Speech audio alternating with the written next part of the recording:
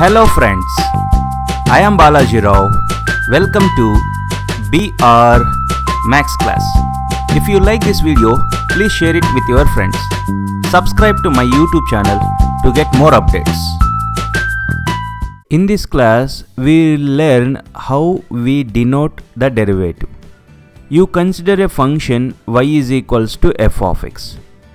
How we represent derivative of y how it is denoted by we will learn in this class d by dx of y it means derivative of y with respect to x which is also written as dy by dx dy by dx means derivative of y with respect to x which is also written as f dash of x f dash of x is also known as derivative of f of x we know that derivative of sin x is cos x.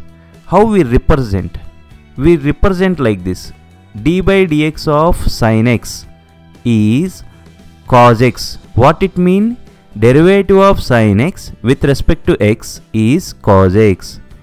The same thing we can write like this also. If y is equals to sin x, d by dx of y which is nothing but dy by dx dy by dx means derivative of y with respect to x is what cos x in another way we can write like this also. If f of x equals to sin x then f dash of x equal to cos x. F dash of x means derivative of f of x. If y is equals to sin x then y dash is equals to cos x. Y dash. Y dash is also a type of notation of its derivative. If y equals to sin x, y dash means derivative of y.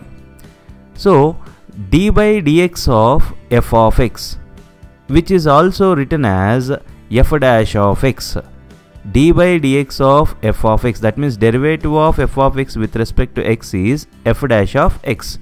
So, conclusion d by dx of y is same as dy by dx. dy by dx means derivative of y with respect to x which is same as f dash of x. f dash of x means derivative of f of x equal to y dash. y dash means derivative of y which is same as y1 in suffix we will write 1 y1 means derivative of y i hope you understand this class if you like this video please press like button below.